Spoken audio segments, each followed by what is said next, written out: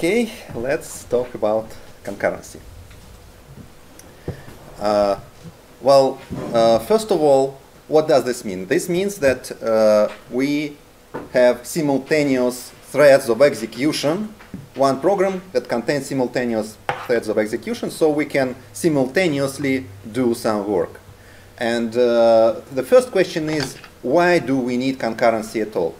And the answer is simple, like uh, if you have one worker digging, digging a trench, yes, it will do it slow. If we have two workers, then they, they will do it twice as fast. Three, three times as fast. It's, uh, so the more workers, the faster, the faster we go. At least at, to some limit. We will discuss it. So uh, in modern world, when we have multi-core CPUs, uh, we need concurrency. We need concurrency, uh, for example, when uh, we have a computational task which is heavy and which can be divided into subtasks. But not every algorithm can be subdivided to subtasks. There is a, uh, the whole area of uh, programming knowledge called uh, parallel programming. It's all about dividing, dividing tasks into subtasks. Another area uh, of application of concurrency is uh, blocking and waiting. So when we asked uh, network for some response, we are waiting for this response for quite a long time, and we can uh, not waste this time, but do something, um, uh, do something that we can just do it right now we need, sometimes we need to respond to request quickly. For example, user uh, clicked a button and of course they don't want to wait for, for, for a minute when everything's calculated. We need to give user a response and at the same time proceed with calculation in parallel.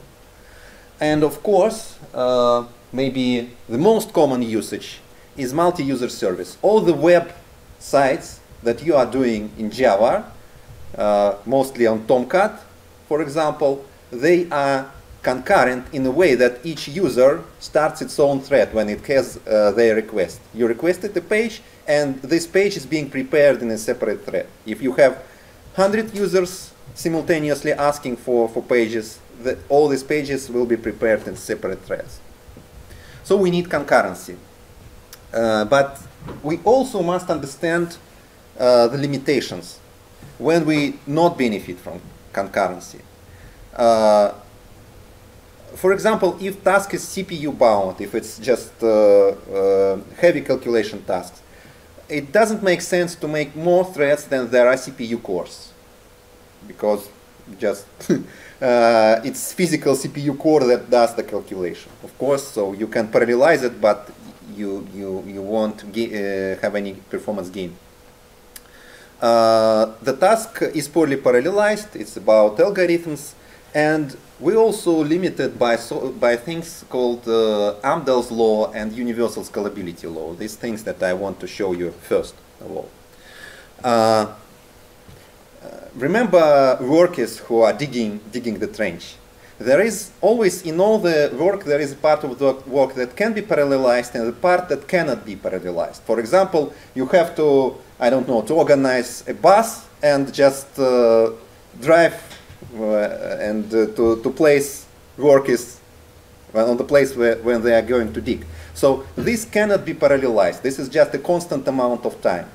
And uh, if we have, uh, for example, uh, maybe a tiny proportion of calculations that cannot, that must be performed sequentially, that cannot be parallelized, then uh, just by very simple, by a very trivial math, we can see that uh, this proportion limits us, uh, limits the um, possible speed gain. For example, if the shared work is 80%, then you uh, cannot have more than a five-fold increase in productivity by parallelizing. You can have million workers, but if you need uh, one hour to get them all to just to construction site, it will be not less than one hour. Uh, and in fact, it's even worse because we, we also have another effect. Uh, for example, imagine these workers, they have to communicate with each other. They just have to communicate, they just have to agree, you, you go there, you go there, you do this part of work, you do this part of work. And uh, if we have n workers, the number of communications is like the number of edges in a full graph, and it's described by this formula. Maybe you are familiar with, this one. So if we have like uh, how many people in this room and we want to, to make handshakes with, with each other, this is the number of uh, handshakes that will be made in this room. So, and you see this is a quadratic value. It's n squared here. So if we put this number, and uh, of course all these handshakes, they take some work. And if we put uh, this work to, to Amdahl's formula, we have this n squared in denominator. And this n squared in denominator actually makes things worse with the increasing of the number of workers. And this is called universal scalability law. And this is really universal law. This is applicable not only to calculations, it's also applicable to management. In management, uh, particular in management of uh, uh, creating programs, it's called Brooks law. And it says uh, if your project is late, then adding more programmers will uh, make it worse. It's not like just simply splitting the task. People have to communicate. So uh, we have some optimal values for optimal value for parallelization, and then you adding work power, but it just makes things worse. So this is uh, this is a universal thing. Okay, so but now we are going to talk about concurrency, about splitting the task to subtasks and running running it in parallel.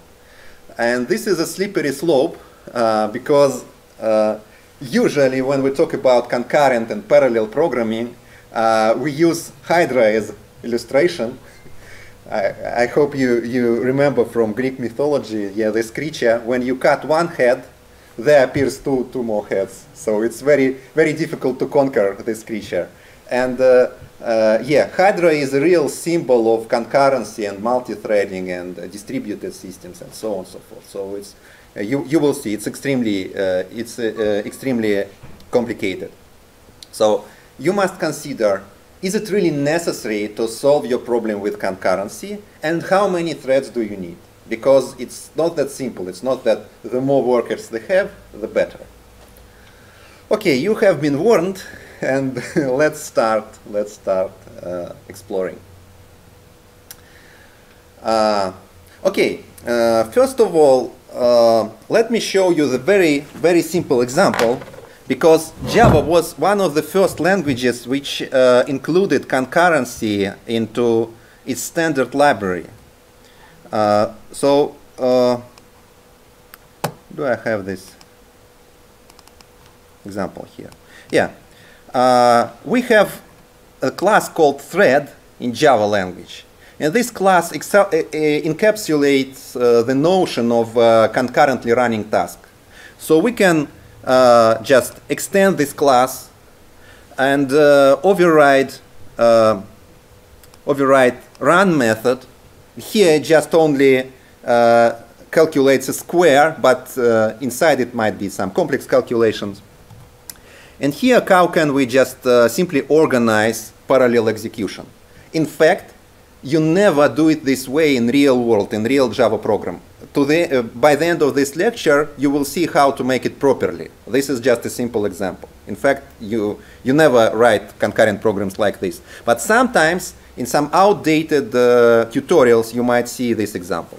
So you're creating two, mm, two threads, you start them, you join. Join means let's wait until uh, the thread ends. And then you, you will see uh, how uh, you will see the result. Let's see the result. What's, what's going to be a result? It's 2 squared and 3 squared. So let me run and see 4 and 9. Like 2 squared and 3 squared. And congratulations, we just made the si simplistic parallel program.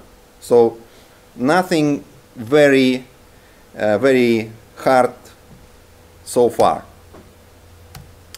Okay, uh, but we might have some problems. Let's consider another, another example. This is called dumb counter. Uh, see, this class has uh, this method, increment count, this value count, and it increments it uh, each time we call increment method. It's count plus plus. And uh, we have two, two options. First, uh, we are uh, million times calling this dumb counter C1 increment C. Uh, the second example is different only in this parallel call. This parallel means that uh, we ask Java to parallelize the task. So it will split 1 million to sub, uh, sub ranges. So it will see how many cores do I have on my laptop and it will just split, it, split this task and it will uh, just, uh, just will call this for each in parallel. So what's going to be, uh, to be the result? First and second, your ideas. First one is just, we're just counting from 0 to, five, uh, to 1 million, so it will be 1 million, obviously, right? What about this one? What do you think? That one we're doing what again? we are doing we're just counting but we're counting we we just uh, it's like we had one worker pressing this button million times now we have i don't know eight workers and they're just trying to press this button simultaneously but anyways there will be million clicks on this button so let's let's run and see you see here we have 1 million and here we have a value that's less than 1 million and I hope you, you, you might guess what's happening here. Despite the fact that this one looks like an atomic uh, method, just increment value. In fact, under the hood, it's not atomic. It's like take value from memory, increment it, and put it back to memory. Imagine two, two threads came to, to the same point. They both take value, say, 0 from memory, they incremented it to 1, and then they both write one to memory. But there were two clicks, but we lost some of them. So here we have, uh, this is why we, this value is less than 1 million, because we lost some, some data. It's data loss. It's just so-called race condition. So uh, at this point, you must, might understand that we need to synchronize them, like do something that to prevent data losses for the threads. But that's, uh, that's only the first example. Let's consider the next example. Uh, uh, let me show you, let me show you uh, this slide. See, we have two threads and uh, four variables. And the first one is going to, to do this simply. A equals 1, x equals b. The second one is going to be b equals 1, y equals a. And uh, we are going to run these threads in parallel and see what's, the, what's going to be outcome. What is going to be the possible outcome? Well, it's not uh, really easy to uh, just to think about watching this slide, so let me just uh, consider this step by step. Uh, what are possible, what are our possibilities? How do you think? These threads might be scheduled uh, one after another, just uh, firstly we execute this code, then we execute this code. Then we're talking about concurrent execution. So we don't know. Maybe this thread will be executed first and this one next. And maybe they will be executed concurrently, like first we're executing this one, then this one, then this one, then this one. Or like this, this, this, and this. So all the possible uh, combinations, but what are possible outcomes? if we are executing first this, then we are assigning uh, a to 1, x to b, that's 0, then b to 1, and y to a, that's 1. So the outcome for x and y, we're only interested in x and y final, uh, final result, is 0 and 1. If it's scheduled in such a way that thread 2 is executed first, then we have 1, 0 as a result.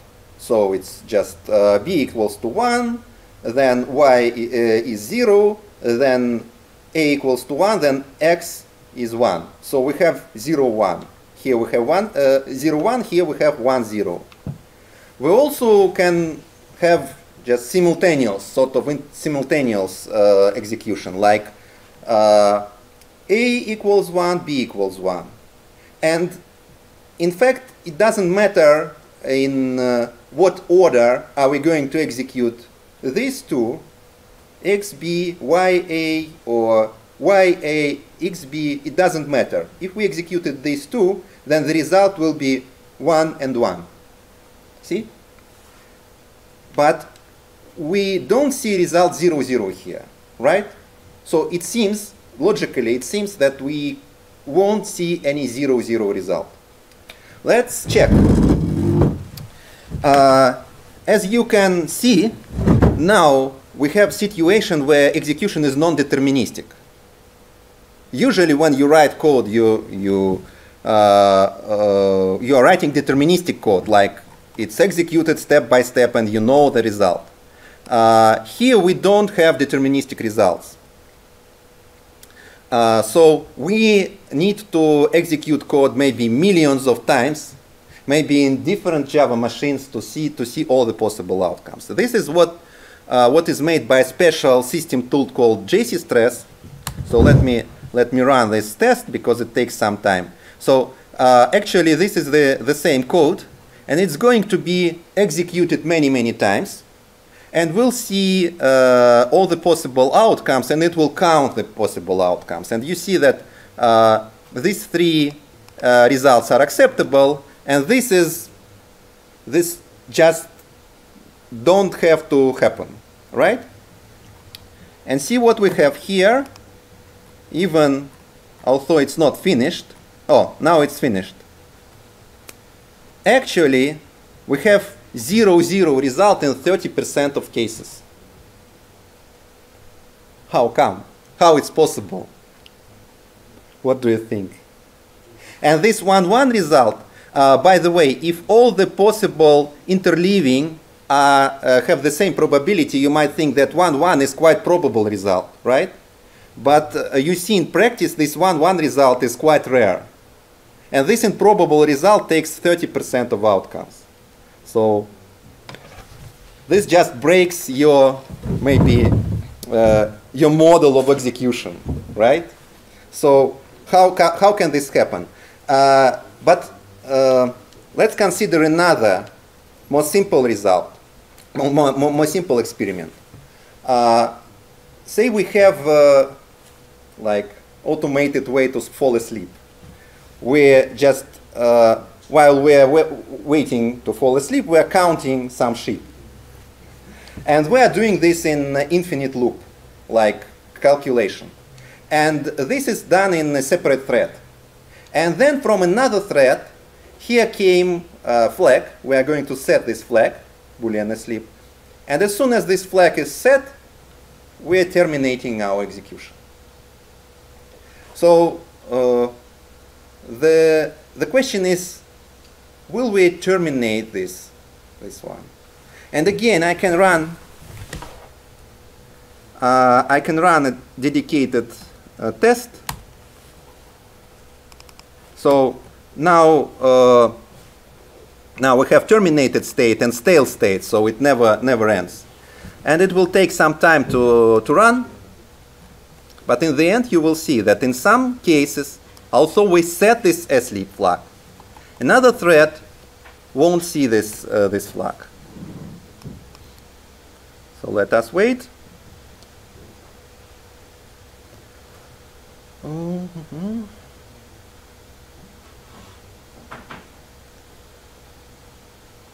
See, it's ended with, uh, with error, and uh, we have test failures because observed forbidden state stale test hung up. So in some scenarios, we will never exit this loop. And this is quite interesting because uh, I'm pretty sure all that you studied earlier was about we have variables, we can assign a value of, to variable, and then we're reading value of this variable, and this is the same value.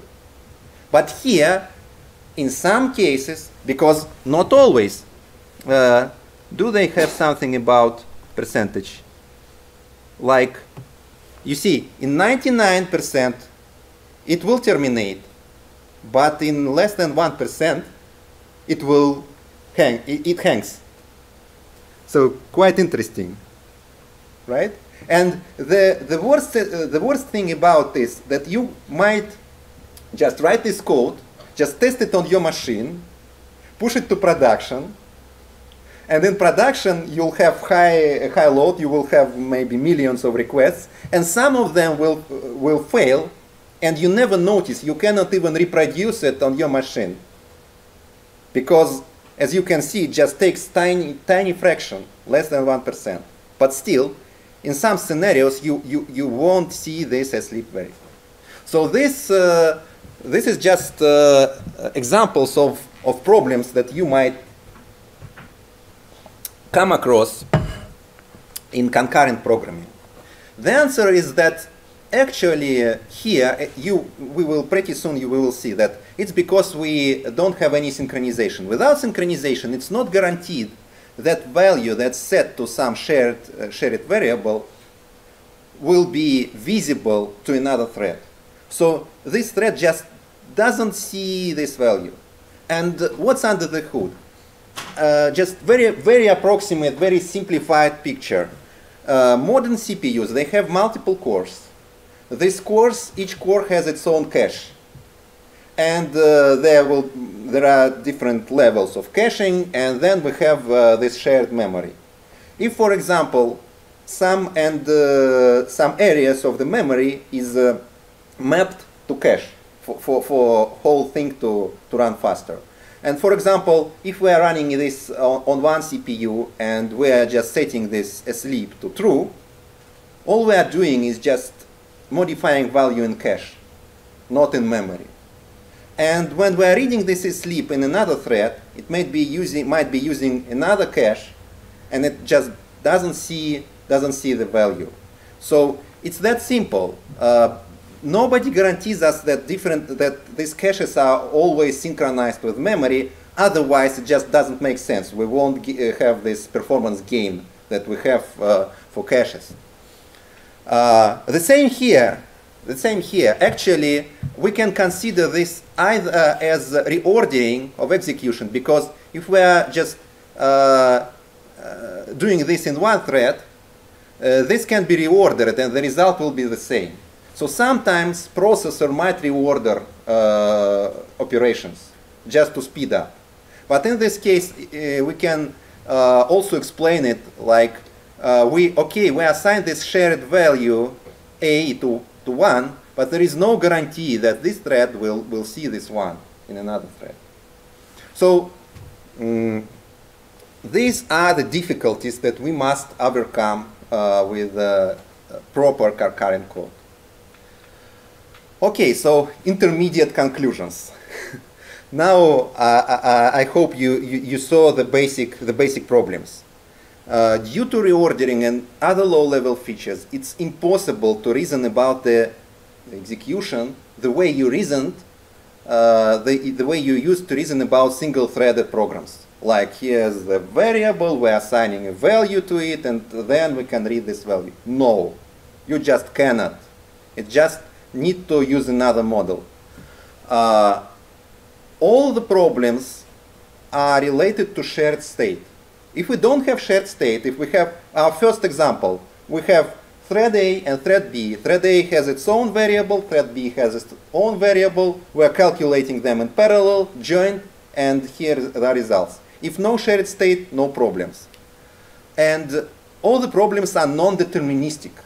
We need special tool called JCStress and other tools to, to, to catch them because it might work on your machine, but it won't work on production. And this is the, the, the most difficult part. It's not easy to debug. It's impossible to debug. Uh, and uh, at this point, you must understand that any problem with shared state without proper synchronization, what is synchronization, I will explain you very soon, is broken. Even if it, yesterday it worked on my machine. So just uh, this argument doesn't work with concurrent programs. Doesn't work unfortunately. Okay, if there are two words that I want you to remember after my lecture, you can skip everything, you can forget everything, but uh, if you can just remember two words, then please remember these two words, memory model. This is the most important concept that you must understand. That there is such thing as memory model. It exists in Java language specification. It exists in many other languages that support uh, concurrency. But Java was pioneering. Java was the first language that uh, invented memory model, by the way. So uh, Java memory model is a language and virtual machine specification that answers a, sim a simple question if we assign this variable to some value, under what conditions will a thread reading the a variable will see the result of assignment? So under some conditions, we are not guaranteed to, to see the result. Under some, some other conditions, we are guaranteed. So we need to, to understand these conditions. Uh, this memory, memory model uh, introduces the term called happens before ordering. What happens before? Happens before is a partial order. Uh, well, if you studied some mathematics, then you might know that there is such thing as order, uh, partial order, and linear order. Linear order is like uh, order uh, on just the order they all used to, like order on numbers. Say we can always compare two numbers, just 3 and 5. 5 is, is greater than 3. You cannot introduce two numbers that you cannot compare. Uh, but also there is a thing called partial order. Say we can say that one set is greater than another set if uh, it's a superset, like it contains all the elements from another set. So just subset is a sort of order also because uh, mm, it uh, has some properties like like this one like if a is subset of b and b is subset of c then a is subset of c. It's called uh, transitivity. Uh, but we can imagine some intersected intersecting subsets and for these subsets you just cannot say if it, one is greater or another because they're just different or they might not in intersect at all.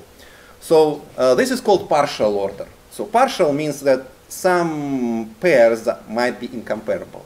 So happens before is a partial order on execution steps. And uh, uh, Java memory model says that the action B to be guaranteed to see the result of action A if A happened before B in the sense that we are introducing here. So sometimes we can say that A happened before B, and thus B is guaranteed to see the results of A. If it's not, then, sorry, we cannot guarantee anything. And we have a set, limited set of memory model rules, and uh, I, uh, my goal is to show you all of them, and you will see that it's quite limited set, and it's easy to, to memorize all the rules. Now the first one is program order rule, and it's a trivial one. If we have only one thread of execution, then each action happens before another action in the order of their definition in source code. This means that we are writing single-threaded programs, nothing strange will happen. It's like the way you used to program your before. So it just uh, uh, confirms that all the variables that you set in a single thread will be visible to, to the code that, that's defined later or executed later. We also have thread start and thread termination rule.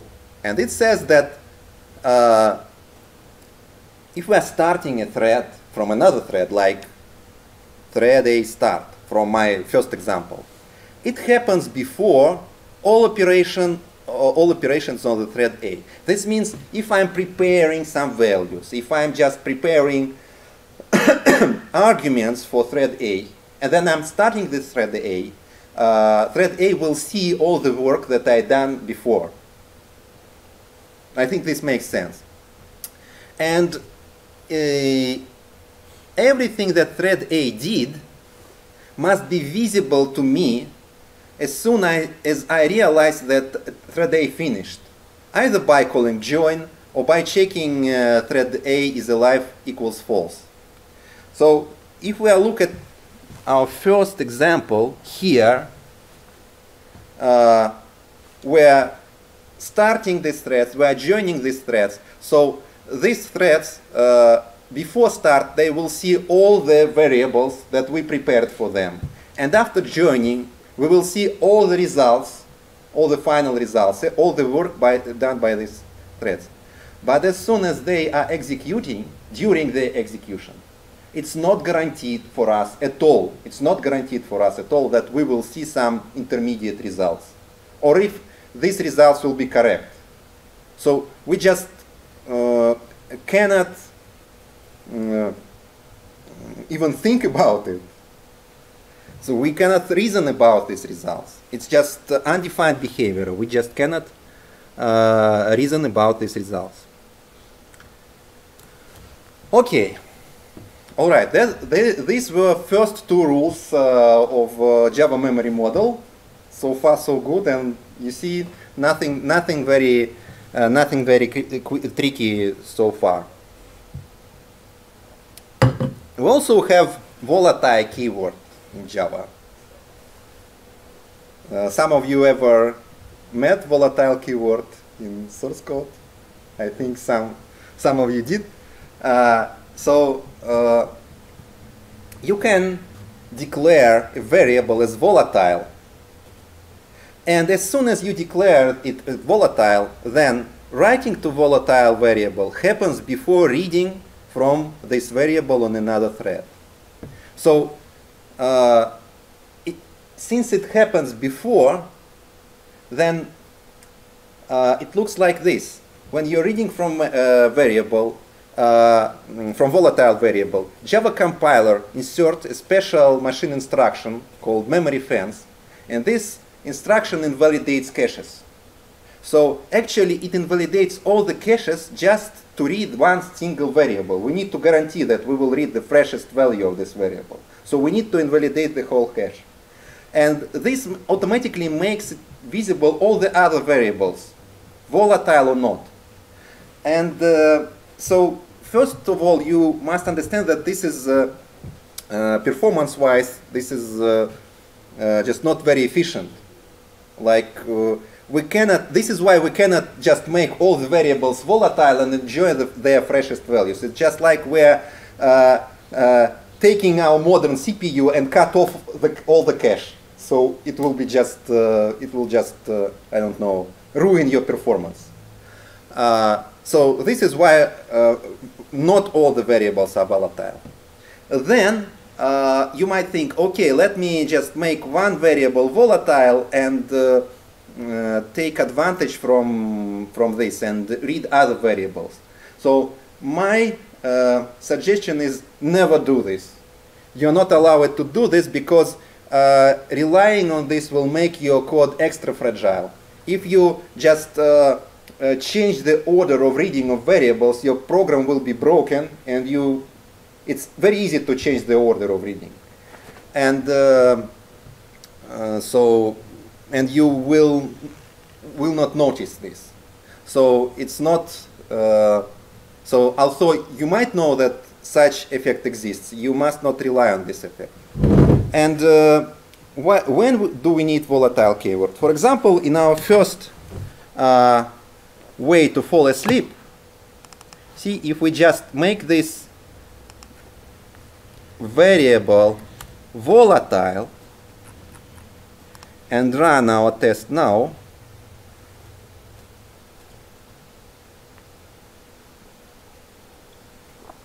then everything should be fixed. It's running millions of tests uh, actually. So my laptop is just uh, blowing up. But let's see what's going to be the outcome. Come on. Oops. Ah, I forgot to, sorry, I forgot to recompile. I forgot to recompile. Uh, it's, uh, Maven clean install, okay, and then I will run and we'll see. Uh, so yeah, sorry, uh, it's not compiling uh, compiling the code. And now, now way to fall asleep. Okay, I will show you the outcome. But anyway, uh, the outcome will be good because uh, what we just did, we just uh, marked this asleep variable as volatile, and now we are guaranteed to, to get the freshest value of this variable each time we read it. Uh, like this. we also have uh, final fields in Java. I believe you remember what's final. Final means that as soon as you assign the value to final field, you cannot change it. And uh, uh, in Java memory model, it takes into account final fields in, in a way that uh, uh still you have to assign uh, final field at some point, right? So when you're creating class, uh, Java compiler will make you to assign value to each final variable. If, if you don't assign, then it won't compile. It will say you are not initializing some final variable. And uh, the place you are assigning it is, is constructor.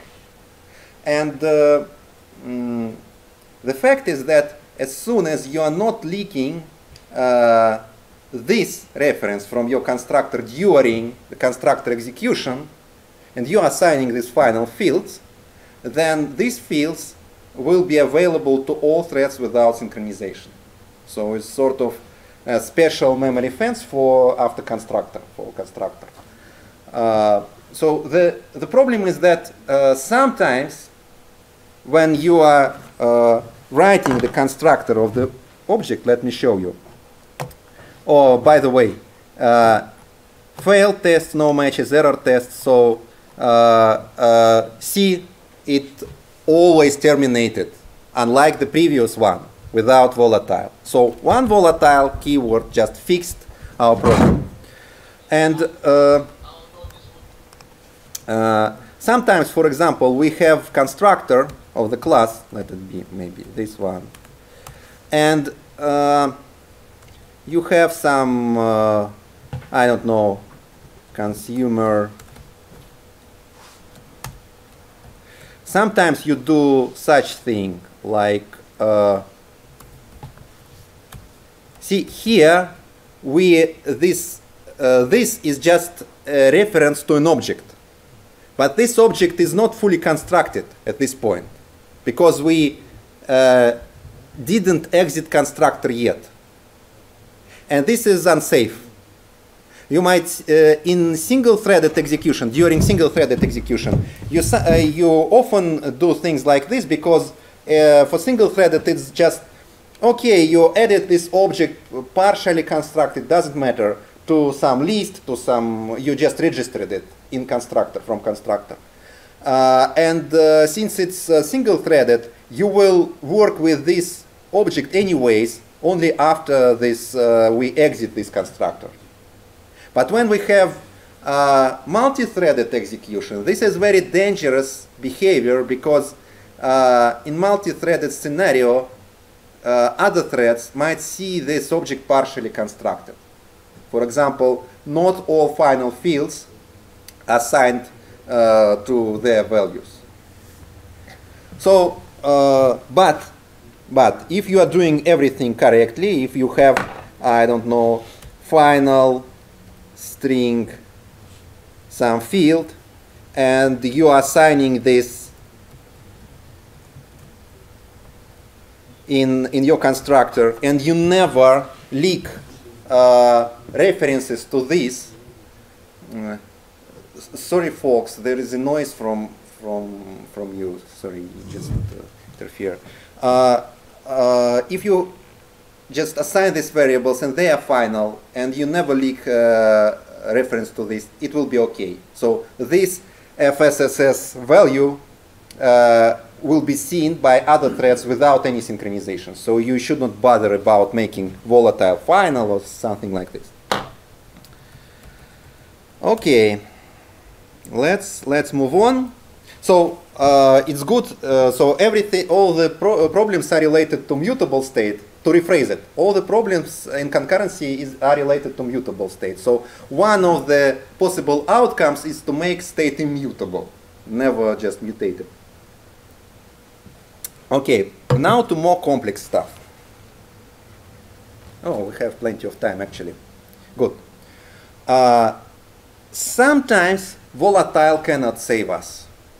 Uh, for example, in this uh, dumb counter, you might, mm, no, let me show it right away. You might add uh, volatile to dumb counter, like volatile int count, and run it. And as far as you you can see now, it's still it, it doesn't help. It's still less than one million because it's still uh, we have still the same problem. We are reading this value, we're incrementing it simultaneously, we are pushing it back, and we are losing some data. Uh, okay, it's volatile, we're reading the freshest value, but still uh, it, it, won't help us just reading the freshest value. or, for example, we have just writing, imagine we are writing bank software and we are just making this uh, method for money transfer. We have a number of account from, account to, and we're transferring some amount of money. So we're just subtracting this amount from this account and we just uh, adding some amount to this account and uh, we just cannot do this simultaneously because if we are doing if we are calling this dumb money transfer simultaneously, strange things will happen. We will lost some uh, some information, and uh, as as far as you can understand, this is catastrophic for bank, for example. for bank, we always have to have this the same uh, the same amount on, of money on all the accounts, so it's going to be constant. Uh, okay, so we need something something more tricky, something more powerful when, than just volatile. And we have this, this is called synchronization. Uh, first, let's imagine how, how it works in real life in bank. For example, you have ATM and you have your bank card and you want to get some cash.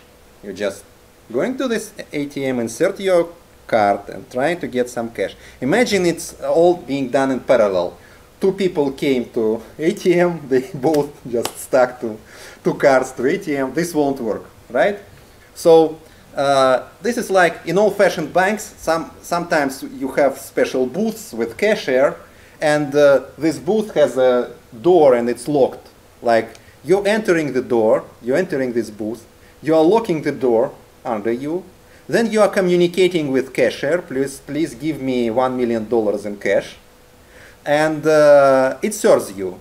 Then another client comes up and they also want their one million dollar, but they just turn the knob and it's locked. They cannot enter the booth, right?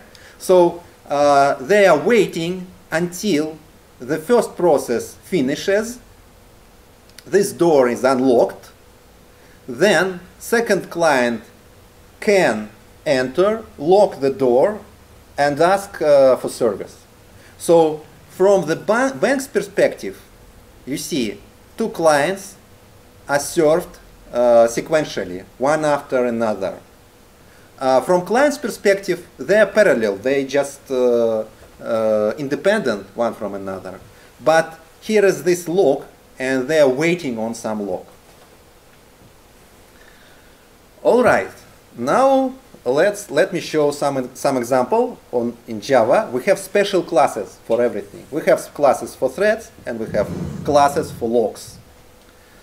Uh, we have special class called reentrant lock, and reentrant is so called because the same thread can enter many times. So if if the code is uh, uh, is in the same thread and this thread already acquired this lock, then we won't lock ourselves. So it's quite safe. And we can do this in such way. So we are creating this reentrant block. Before executing, we are locking this bank lock. And see, this bank lock is a shared state, sort of shared state. Then we are doing something. And then in finally block, we are unlocking. Why are we doing this in finally block? Because some exception might happen here. If an exception ha happens here and we're exiting this money transfer without unlocking, then we lock the whole bank. no services just uh, being made since then. So you see, uh, concurrent programming is, uh, is a very dangerous thing. You can spoil everything.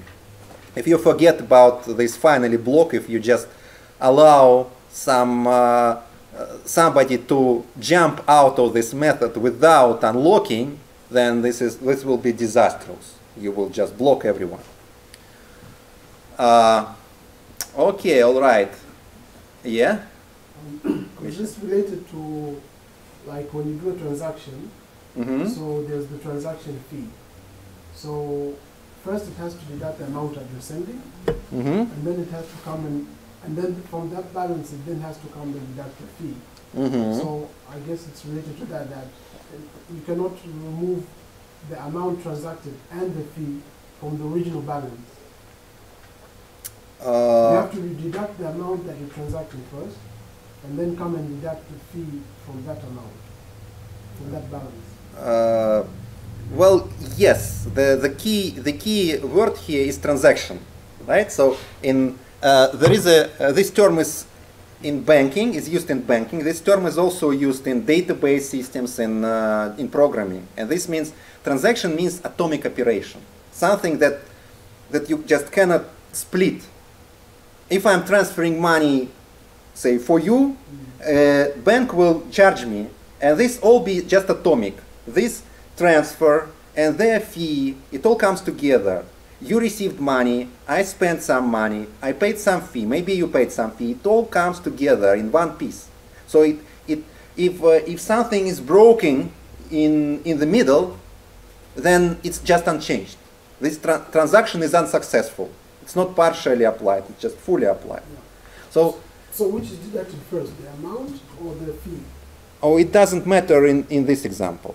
I- I- in this example, it's just like uh, transfer from account to account. The, uh, our goal is to, to keep uh, the amount on all the accounts constant. Like uh, we have bank and two accounts, for example. We have 100, 100 bucks on one account and zero on another account. When we transfer 50 from one to another, we have, in the end, we'll have 50 and 50, but uh, the sum should be 100. If it's not 100, then it's bad.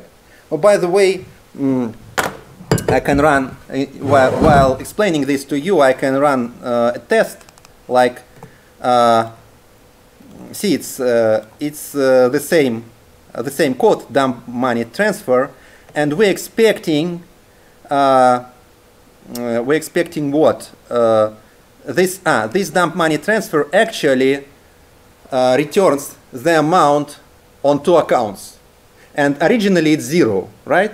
So uh, we have no money. And in, in, our scenario, we allow overdraft, for example. When I transfer from one to another, it will be minus 10 and uh, on one account, 10 on another account, but the total amount must be zero. It must be zero. Uh, so if we uh, if we run sorry we run on terminal like dumb uh, money transfer uh, let's see the possible outcomes but while it's doing a test uh, let me proceed with explanation so mm, oh I expected another question from you uh, see we have first customer that's being served uh, by locking and unlocking. Then we have a second customer that's being served. You, you have to ask, and how it's guaranteed for the second customer to see the results of the work of the first customer? Because now you, you understand that by default, nothing, guaranteed to, nothing is guaranteed to us. By default. It's not just enough to, to think, oh, uh, the transaction is made, so uh, another guy will, will see the results of transaction. No, it's not guaranteed, but the answer is that we have a special Java memory model rule for this. And this rule says that uh, when we're uh, exiting one, releasing one lock, the thread that's going to acquire the same lock is uh, uh, will see all the results of our work. So this is called uh, JMM monitor lock rule, and it says that unlocking happens before another locking of the same lock. It's that simple. Like unlocking happens before locking, but implications are quite complex. This is actually this actually guarantees us to see the results of previous execution. Only the same lock. If we are locking some other lock, we're still not guaranteed to see the results.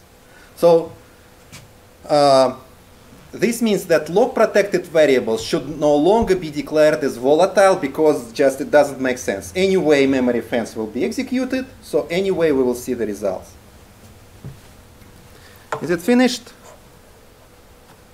Oh, no matching tests. Why?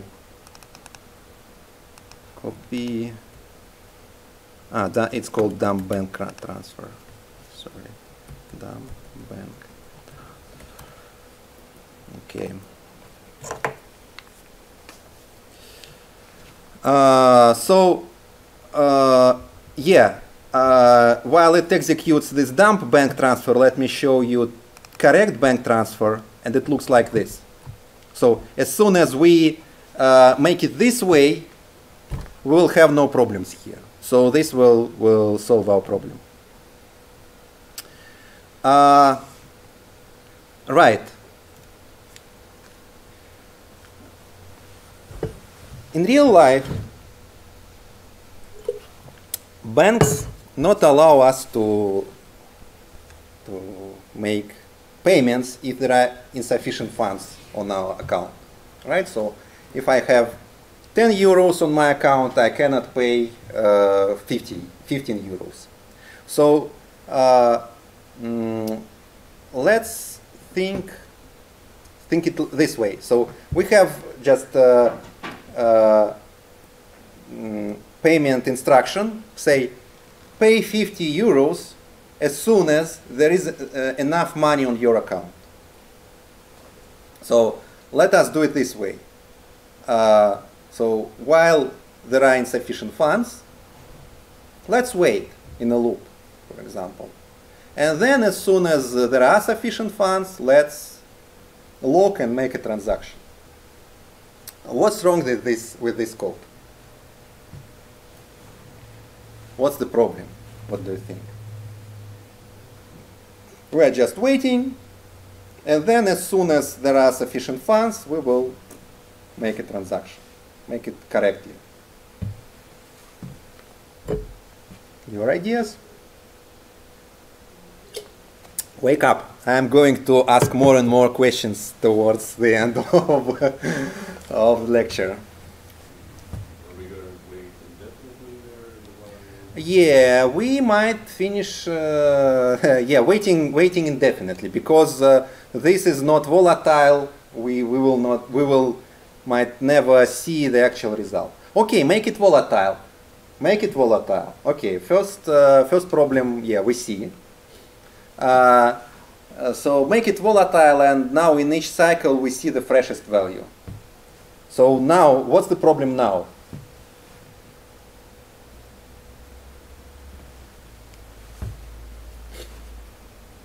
So you said only when the amount is sufficient then you do the transaction. Yeah, right. But it works like this. Uh, yeah, first, uh, first, yes, this is not synchronized. This is not volatile. Okay, we made it volatile. So now we're reading the freshest amount, and at some point we saw that oh, uh, we have uh, salary, and now we have 100, 100 euros on amount. So we can pay 50. Cool. We are proceeding. We are taking a lock, but someone in between might write off Oh, 80, 80 euros from my amount. And between this line and this line, it's not in the same log. See, it's not synchronized, so it's just uh, everything might happen. We need to check for the one. We need to check. Okay. Uh, oh, by the way, let's uh, let's see the results of execution. What do we have? uh, see, we have, uh, i- in theory, we, we have to observe only 0 and 0. And see, we, here we have 0 and uh, 2 and 0, minus 1 and 0, all the possible combinations. Uh, so, yeah, it's uh, just strange. But as soon as we adding this lock and lock, it will, it will go fine. Okay, uh, but yeah, let's try to fix this one. Okay, the problem is that between this line and this line, anything might happen. So maybe we can try to do this, right? Lock, then wait, then transfer. What's wrong with this code?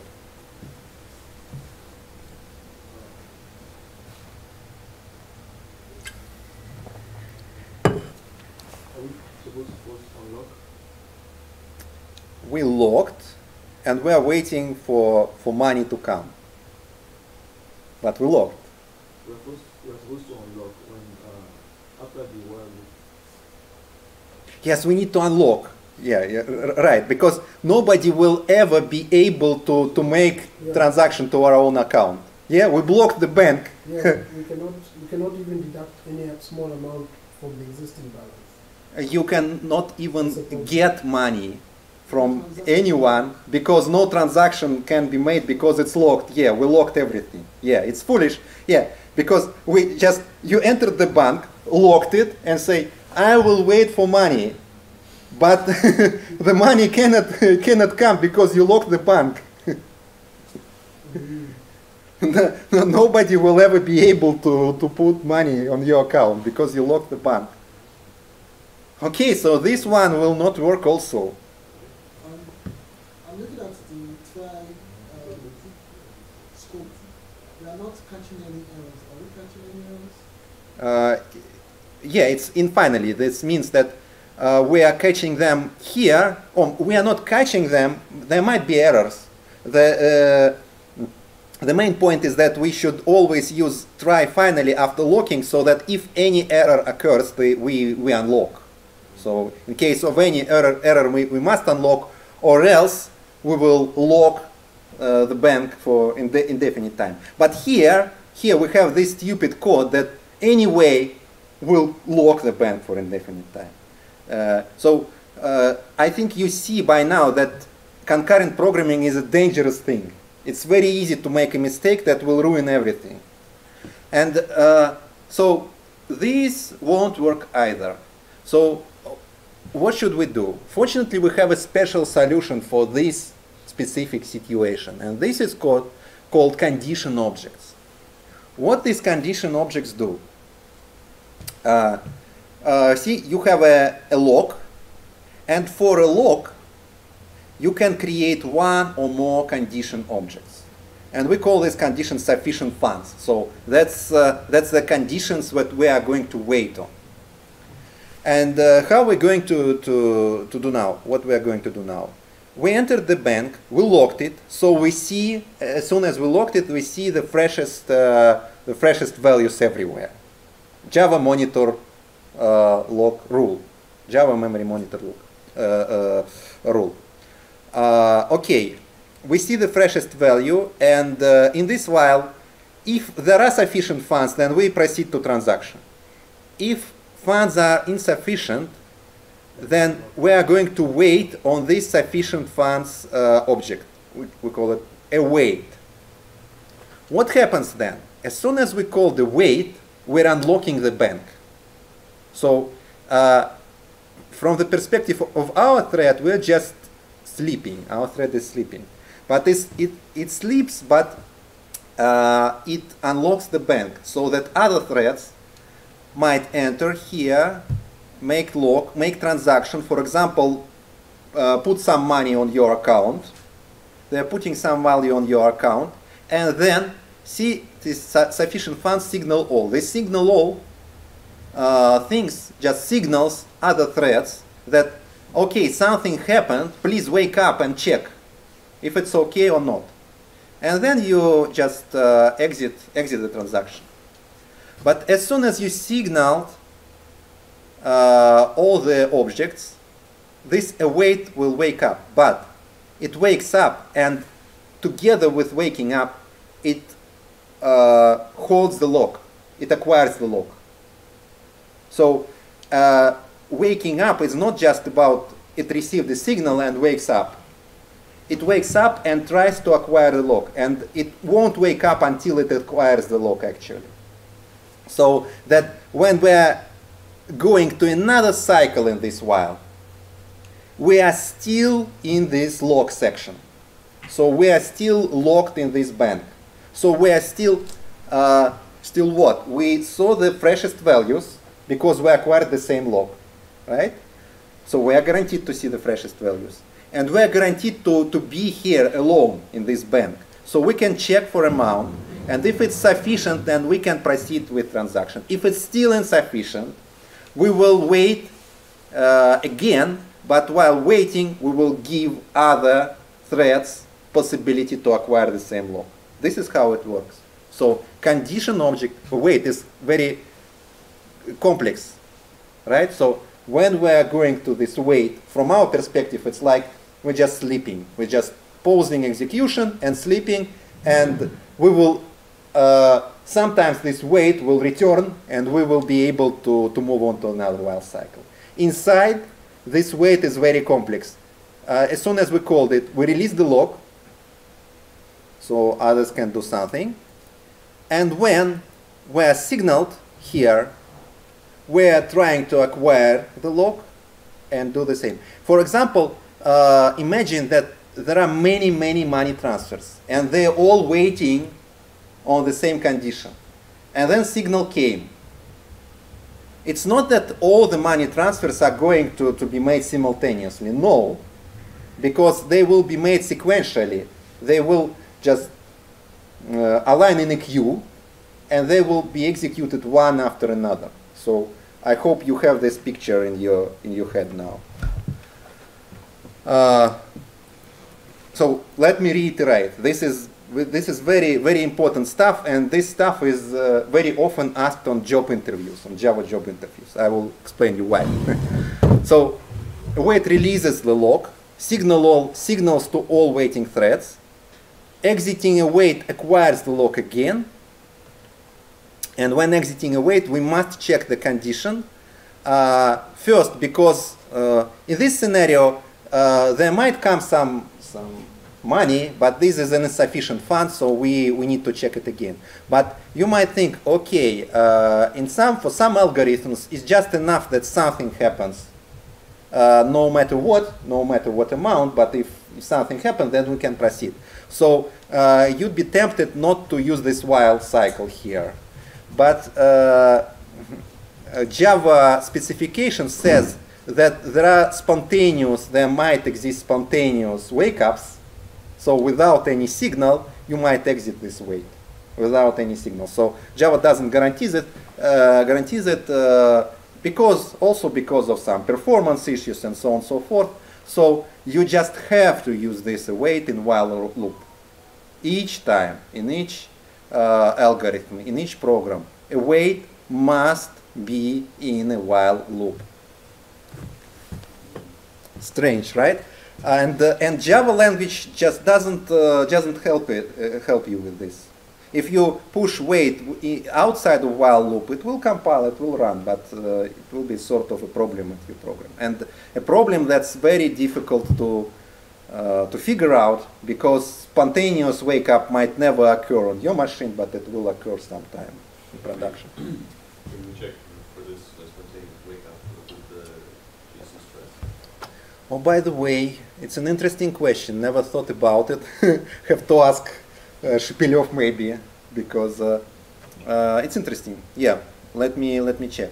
I Mm, I think yes, if we manage to write uh, to write uh, uh, the test that uh, detects it, I think yes, because it's it's really about like running it millions of times under all the possible circumstances. Okay, and of course, I already explained it to you, but it's good if you ask yourself this question uh, how are we guaranteed that we will see freshest value here? We are guaranteed because after exiting await, we, uh, we acquired the same lock. and only because of this. So please, starting from, from today, please, uh, please try to reason about code execution in terms of Java memory model. Uh, all right. Uh, I already saw it, uh, told it to you. So it's just uh, just correct condition waiting pattern. Uh, by the way, this is uh, this is not the shortest code that can can be used to achieve the same behavior because starting from Java version one, uh, there was a notion such thing as intrinsic locks, intrinsic locks and intrin- intrinsic synchronizations. Uh, Java language designers made this because they wanted uh, Java to support concurrency better, just uh, for you to, to, to write shorter concurrent code. And uh, this is why how it can be made another way. We're just using this word synchronized. What does synchronized mean? Synchronized means that uh, before entering synchronized method or synchronized section, we are acquiring an intrinsic lock on some object. In this case, on this object, on uh, on the instance of, of the class itself. So actually, each and every object in Java can be used as lock. This is how Java is made. Maybe it's not the best decision, but it's uh, like sometimes it uh, helps us to write just more concise code. So in this scenario, it's like uh, it's like having uh, this uh, uh, this dot log try finally this dot release log. So we're just using this synchronized, and it does does it for for us. So we just uh, uh, this means that no two threads will enter this method simultaneously for for the same instance of uh, of the class. Uh, question. Does it mean that we will have to queue since they are not entering um, simultaneously? Uh, they will queue uh, uh, they will queue automatically under the hood. So you just calling you, in, in your code you just uh, call money transfer and another thread you call money transfer, but uh, these are synchronized or via lock or via intrinsic lock, no matter how. You're not writing this queue, you're just calling it, but inside under the hood well will be a queue that will work for you. So it's uh, yeah, it's very powerful powerful thing. So. Um, mm, uh, there is another, yeah, another another form of synchronized block, and this this one is actually better. Uh, we can put synchronized keyword not on on uh, method level, but inside some uh, block code block, and we are uh, just passing explicitly passing some lock here. See how it works. We created a new object it can be string, it can be anything, everything in Java, any object can work as log. And uh, you created this object and you are using, and this field is private. See, it's not visible to, to someone else. And this means that this log cannot be used by anyone besides methods in your own class to be used as log. Unlike in this scenario, in this scenario you still have outer class that can be used as log in some synchronized section. Some crazy programmer might, might use it. And if they use it, they will spoil your uh, performance. So uh, uh, this is this is how this is why we we utilize uh, encapsulations in Java. Like we are hiding our internal state into private fields, so that others won't be able to use it because we're telling these are our, our own fields, we might change it in the future, so please don't use it in your work. Uh, we also can uh, encapsulate locking, encapsulate locks, and uh, this is a good practice actually. So uh, uh, please uh, prefer doing it this way, create an object explicitly and use synchronized lock here. So this is a better practice. It will do the same. So no, no two threads will simultaneously enter this, this section. they will wait up, they will queue up and wait on this lock. And uh, this will work. So, uh, uh, ah, sorry. We also have one uh, intrinsic condition object on each of, the objects uh, in Java. So, uh, like this. See, we have this log, and we we also call this log.wait, and we also call this log.notify all here. So actually, this is less code than in this uh, than in this example, right? So we have bank log, also log, uh, also wait and uh, signal all, but here we have this try finally. In this uh, in this example, we have what? Uh, we have this synchronized, but we are calling log wait and we are calling log notify also. This is uh, uh, we're just not creating a separate object, right? We're not creating some conditional object here. And uh, what does this mean? This means that each object in Java also has intrinsic uh, condition object, but only one. Only one. For entrant log, for example, you can create as many conditional objects as you like. When you are using intrinsic objects, then you have only one condition, but this will do in 99% of the time. So uh, you are calling this wait, you are calling this notify all, and otherwise it works just like previous example. I have JCStress examples, but I won't run them because they are not interesting because uh, uh, in, this, uh, in this scenario, everything will just work smoothly. So uh, for intrinsic conditions, this is also the thing that that is often asked on job interviews because uh, job interviewers they uh, often like to ask something what methods are there on object class in java?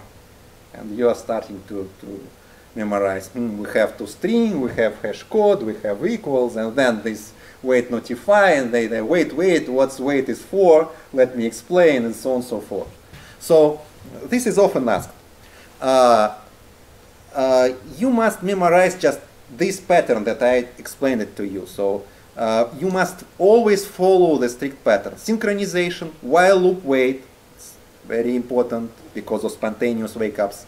Notification.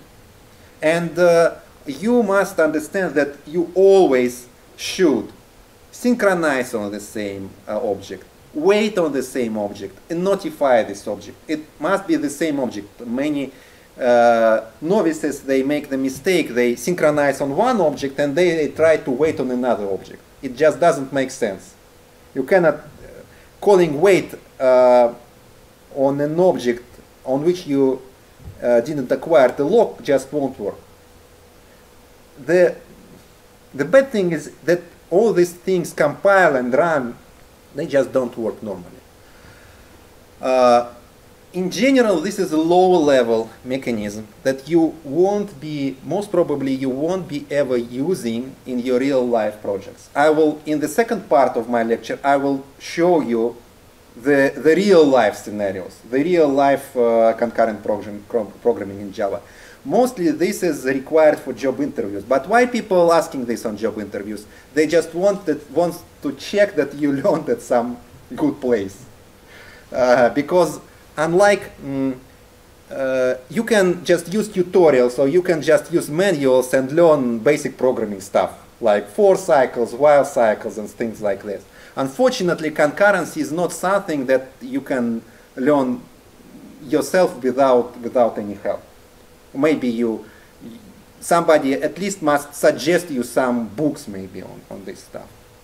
And it's very easy to, to write, oh, I have this thread object, let me start a thread, let me stop the thread, or I am doing concurrently programming, or uh, concurrent programming. Or you just think you are doing concurrent programming, you are doing it uh, wrong. Okay, by now, and uh, I think uh, very soon we are ready to, to make a break. By now we understand the meaning of all the possible thread states in Java. So in Java, uh, we are creating a new thread.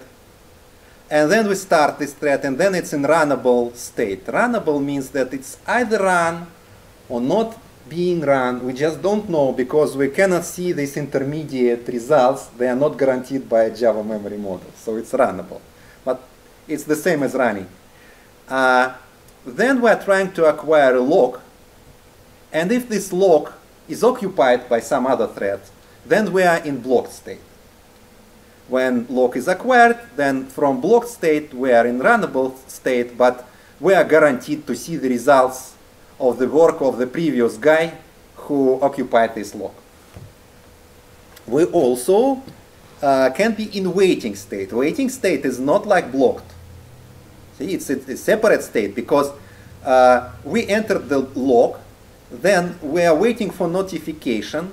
In waiting state, we unlocked the lock. And uh, uh, as soon as notification, uh, but we're still not doing, doing anything. Uh, as soon as notification came, we're uh, also in runnable state. There is a separate thing called time waiting. Uh, we also can call time with some arguments telling that please wait for condition for maybe 10 seconds. After all, after these 10 seconds, please wake up. This is also possible. And by the way, we all know about this thread.sleep method in Java. Just uh, pause the, it just pauses the execution for, for a couple of seconds. Sometimes we are using this thread sleep. When we are calling thread sleep, we are actually in timed waiting. So we, we are not waiting for any actual signal, but we want to wake up after two seconds. So it's uh, the separate, uh, separate state. And when uh, thread finishes, then it's in terminated state. And the thread that's, that is in terminated uh, state cannot be reused, by the way. We need to create a new thread if we want to run it again. I will talk about it uh, uh, in the second part of the lecture. So sometimes it doesn't make sense. We, we want to always utilize or reuse the, the same thread and never allow it to, to be terminated. Uh, okay, intermediate conclusions and then we'll have a short break. Uh, so where possible use immutable state. All the problems in concurrent programming is because of immutable state. You might think that you are not doing concurrent programming just now, but in fact you do if you're writing some uh, website, web application for Tomcat, each uh, request is being processed in separate thread. So actually you do. Uh, so immutable state is automatically thread safe. So create as many immutable classes as you can. It's just generally good practice, good advice. If you need access to mutable state, use volatile, but volatile is quite has quite very limited usefulness in a limited number of situations where synchronization doesn't matter, but you just want the freshest value. Like in fall asleep uh, uh, example. Uh, hold the lock while performing operations that should be atomic. So there are no such thing as atomic operations in Java, even plus plus operation. It looks like atomic, but it's not at all atomic. Uh, if you need, uh, oh, by the way, how do we fix how do we fix uh, our first example about dumb counter? Let us fix it and see that it works. Uh, how do we fix it now? Volatile, uh, remember this one, right? Volatile didn't help us. How do we fix it now? Synchronized, where should I put synchronized? Here, right? So now no two threads can call this simultaneously, right? So let's let's run and see what's going to happen. One million, one million. Hooray! We fixed. and another, just another another example. Just uh, let it be object uh, lock a new object, and uh, uh the better the better way to do this uh, is like this: uh, synchronized lock and this and let's run and see if it's going to work. It must. It also works. But why it's better? Why it's better? Because uh, mm, yeah uh, if we put it this way if I put it this way, actually it's equivalent, it's just uh, syntactic sugar for, for this. See, you are using this as an intrinsic lock.